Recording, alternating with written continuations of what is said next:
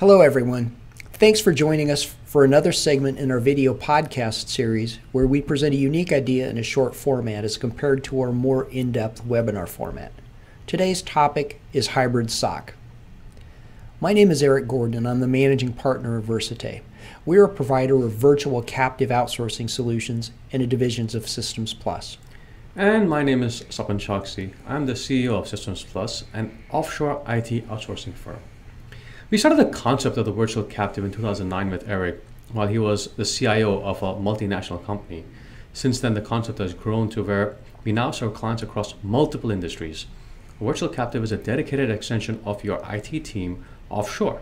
It works better and costs less than legacy offshore, with most of our clients operating teams of experienced resources at rates of under $20 blended. Today, we're going to be discussing the concept of a hybrid SOC, also known as a Security Operations Center. Managing IT security is all about trade offs. And we find that many companies are either missing key capabilities or don't execute processes effectively, which results in a security incident. Today, we'll present an innovative approach to IT security that will make it cheaper and more effective for you and allow you to turn security into an advantage. Sapan, set the stage for us. Thanks. So, there are many vendors and tools in the information security space. And third party compliance frameworks like PCI uh, to the mix, and many companies feel like the rules are always changing and they need to spend more money every time they turn around. The vendors in the industry tell you buy our tools, hire our services, and everything will be okay.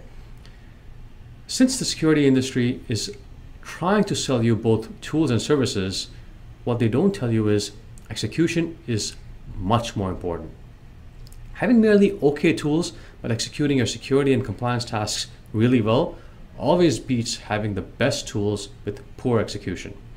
Eric, what do you feel the reason is? Well, the, the first reason is that security and compliance standards place a lot of expectations and requirements on IT. Some are policy requirements, but most of these frameworks specify tasks and activities that you must actually do. It's work hence the importance of execution. Second, the illustration on this slide shows how all key compliance frameworks map to the same core IT capabilities. We call these IT domains. We aren't going to break out the details, but you can do that exercise yourself by researching the HITRUST framework, which maps all the varying security and compliance frameworks to a core set of IT capabilities. This slide illustrates how SOX controls on the left HIPAA and some auditor observations on the right all map to the same set of IT capabilities in the center. You could add the ISO framework, NIST, or COBIT to this slide, and they'd all map to the same set of core IT execution capabilities. That's why IT execution becomes your foundation and key to security success. The IT capabilities that surround a security and risk program include the following domains the first is SIEM tool management. SIEM stands for Security Information and Event Management. And it's a tool that examines systems logs and then uses logic and some AI to spot possible security problems. These tools require administration, tuning, monitoring, and management to keep them updated and functioning. Not every company chooses to invest in a SIEM tool, but it can be a very important anchor of your IT security program. Every company has IT processes and activities dedicated to managing user endpoints and distributed compute devices. Antivirus, anti malware, and access control are all used to secure desktops, laptops, and other devices. Every company has data. This domain involves the tools and processes for identifying and protecting key data through encryption and controlling access to data and information. These tools and activities can also prevent accidental disclosure of information through email or loss of a laptop. Next is the infrastructure domain, which includes the management of all network and computing infrastructure assets, such as cloud, servers, firewalls, the network, data centers, and others. In addition to the operation of these components, this domain includes vulnerability scanning and patching activities. The identity management domain includes user setup, user deprovisioning, and access control. Preventing unauthorized access to technology assets is a core capability that applies to every company. Failures in this domain are a factor in nearly every publicly disclosed breach event. Finally, the risk and incident domain includes the security program management, risk management, business continuity, disaster recovery, and security incident management processes and activities. So, all compliance and security frameworks map back to these core areas.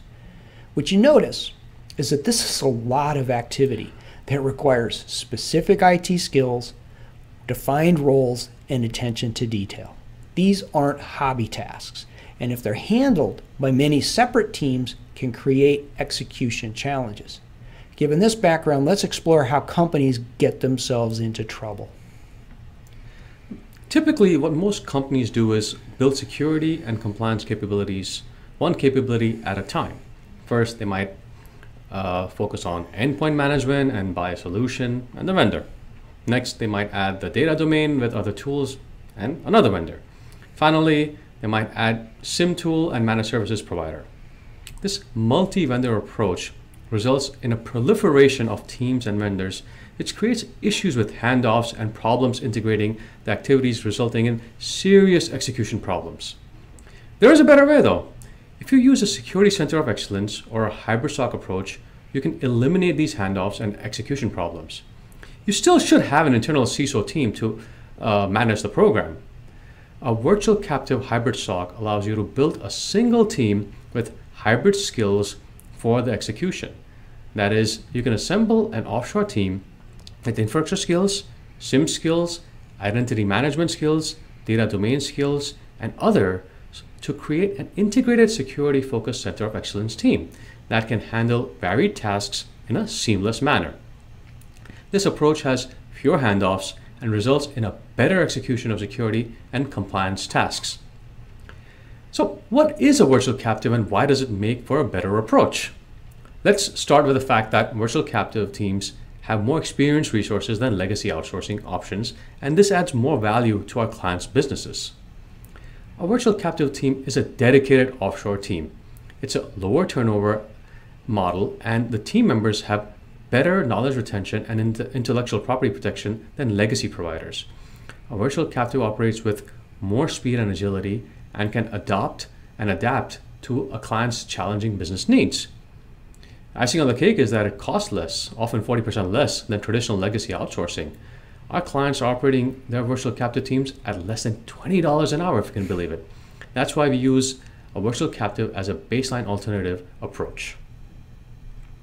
If you use a security center of excellence approach like this using a virtual captive model, you can put execution tasks offshore in the low cost structure while retaining the program management roles internally. In conclusion, you have two options for how to build out your security center of excellence to improve execution.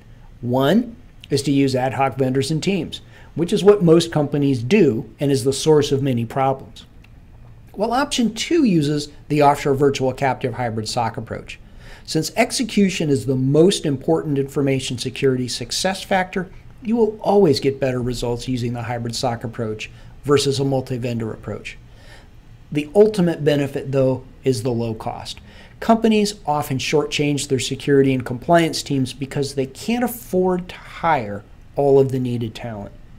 A hybrid SOC approach not only works better, it costs less, often half or even a fourth the cost of a multi vendor approach. Hopefully, you've gained some ideas as to how you can simplify your approach to IT security and get more effective execution for less money. There are many high profile examples of security incidents in the media. You can find news stories almost weekly. All of these incidents are either entirely due to a lack of execution or due to a lack of capabilities. Companies that spend a lot of money on security tools still have breaches, which point to execution related issues. Please, don't be a victim in this process. Get help. Our methodology and approach can help mitigate those risks and set you up for success. Contact us at info at for more information. Thank you for listening and best wishes to you in your IT security journey. Thank you.